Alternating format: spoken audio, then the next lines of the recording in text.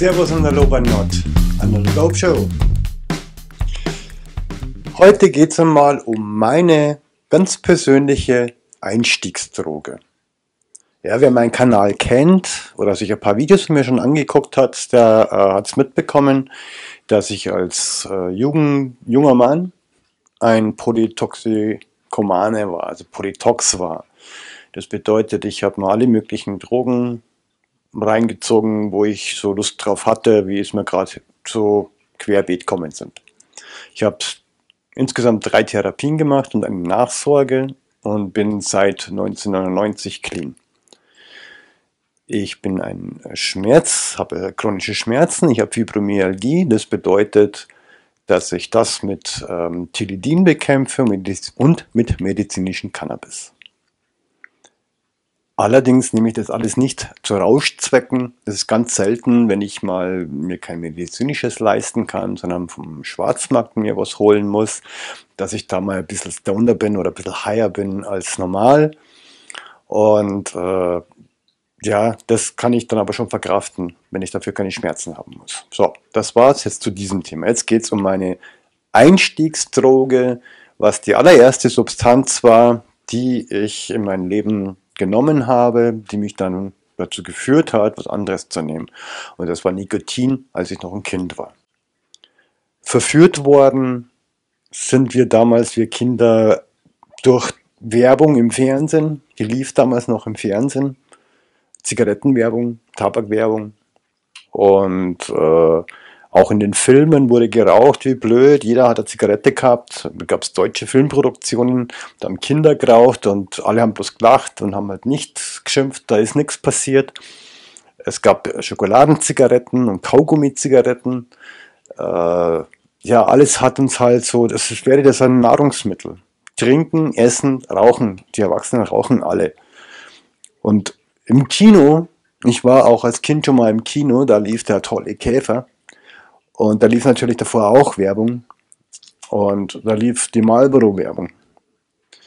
Und wer die kennt, der weiß, was da für Musik läuft. Und wer die nicht kennt, der kann ja hier auf YouTube mal suchen. Das ist dieselbe Erkennungsmelodie wie von den glorreichen Sieben.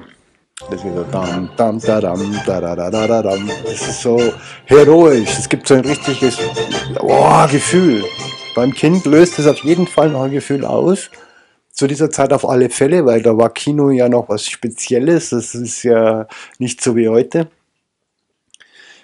Und ja, wir haben, wir haben Cowboy und Indianer immer gespielt. Das war halt das, was halt Kinder damals gespielt haben. Wir hatten ja keine Playstation oder Computer oder Handys oder irgendwas. Wir hatten halt nur unsere Fantasie und vielleicht vom Fasching noch irgendwie so ein äh, Kostüm aber ich glaube, ich habe ein Indianerkostüm gehabt, das ausschaut wie von Winnetou. Das hatten so viele damals und so ein so Federkranz. Und ja, und dann wollte ich irgendwann mal der Cowboy sein und dann habe ich mir halt einen Hut gewünscht und habe ja in irgendeinem Fasching mal einen Hut gekriegt und so eine Pistole und, und das von der Reimer zum Peng Peng Peng.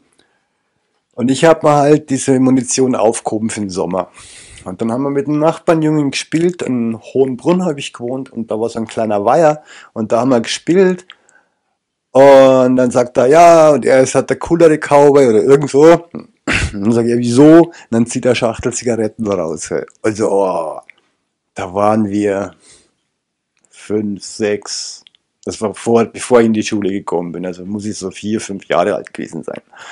Ja, und dann haben wir halt da Zigaretten gepafft. Das war das allererste Mal, wo ich von mir aus gesagt habe, ich will das mal probieren. Da war ich vier ein paar Jahre später mit meiner Schwester auf dem Feld draußen. Da war sie war vielleicht zwölf. Nee, sie war schon älter. Ja, sie ist ja ein paar Jahre älter als ich. Also ich muss da mal schon so fünf, sechs gewesen sein. Da war sie wahrscheinlich äh, 13, 14. 15, also wo, wo, halt Kinder angefangen haben damals zu rauchen, weil mit 16 war sie erlaubt und ein bisschen vorher haben halt dann die Kinder schon angefangen. Und da hat sie dann mir auch mal gesagt, dann zieh da mal richtig auf Lunge und nicht bloß puffen. Da war habe ich halt dann nochmal auf Lunge, da habe ich so kustet. Und das dritte Mal, das war dann mein Bruder, der ist halt auch ja, gute elf Jahre älter als ich. Der war schon volljährig und hat damals Lord geraucht. So, das ist eine sehr, eine sehr schwache Sorte eigentlich, also wenig Nikotin und so weiter drin, aber er hat geraucht wie ein wie Kette, wie ein Irrer.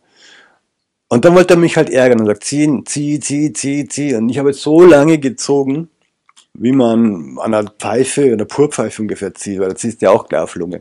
Nicht lange im Mund, sondern gleich auf Lunge. Und ich habe halt da gezogen, bis das Husten angefangen und er hat halt nur gelacht. Aber das waren die allerersten Berührungen mit äh, Drogen.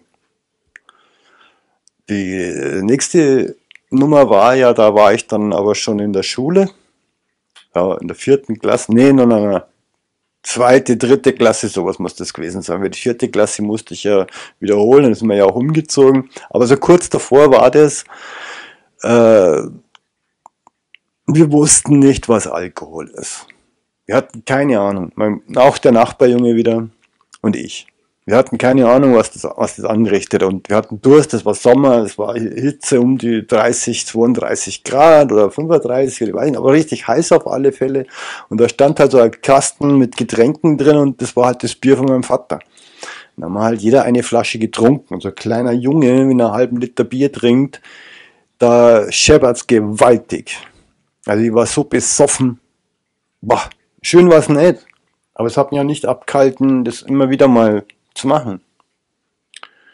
Zwar nicht so krass wie da, aber ich habe öfter mal beim Bäcker zugeschaut, wie da gebacken wird und wie die Brezen mal hergestellt werden und alles und habe halt da bei dem Bäcker ab und zu gefragt, ich mal trinken? Hm.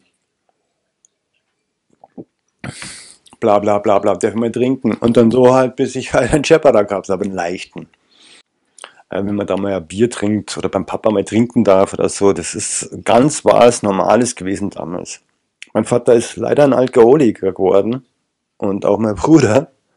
Meine Schwester war es auch eine Zeit lang, aber hat, hat da Kurve gekriegt, rechtzeitig. Und ich war halt der Einzige, der gesagt hat, nein, ich will kein Alkohol, weil das, ich sehe es ja, was das anrichtet. Ich möchte, äh, wenn ich nehme, dann nehme ich was anderes. Und so war es dann halt auch. Und so bin ich dann zu Cannabis gekommen. Aber da war ich dann schon 18. Da habe ich mich ganz bewusst dazu entschieden, das wohl jetzt ausprobieren. Und nachdem ich es probiert habe, habe ich mich auch ganz bewusst entschieden, so, das mache ich jetzt ab und zu mal öfter.